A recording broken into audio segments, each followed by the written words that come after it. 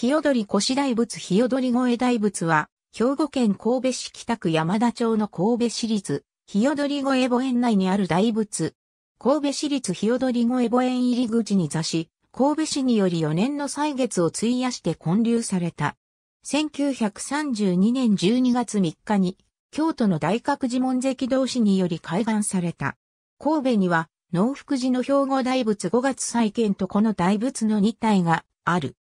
山腹にあるため大仏前の広場からは、直下の丸山地区のはじめ、神戸の街並みや神戸港、ポートタワー、ポートアイランド、晴れた日には遠く北海峡までが見下ろせる。このように眺望の良い場所に建立された大仏は、全国的にも非常に珍しい。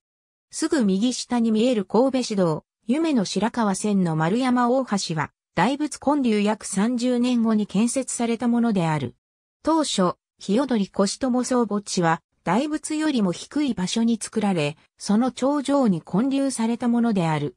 現在は、その後の大仏よりも奥の産地の大規模な墓地開発によって、墓園入り口に座する形となった。